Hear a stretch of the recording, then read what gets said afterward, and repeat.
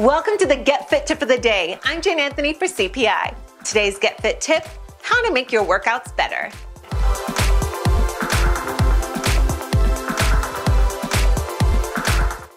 You just got off work at a long day at the dealership and it's time to hit your workout.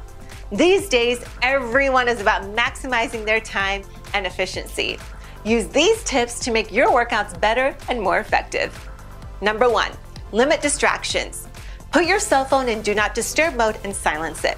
Put the music on and force yourself to not check anything on it like emails, texts, or social media while you're working out. Number two, put together an epic playlist. There's nothing worse than working out in complete silence. I mean, who does that?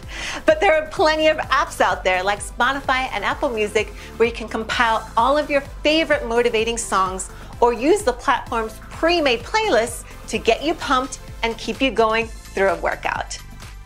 Number three, train with a friend. Training with a friend or significant other will give you that extra motivation to keep going and stay committed. You can push each other and hold each other accountable. Number four, use active rest breaks.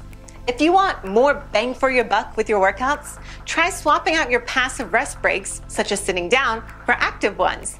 Some of my favorite examples include skipping, jumping jacks, mountain climbers, high knees, or holding a plank.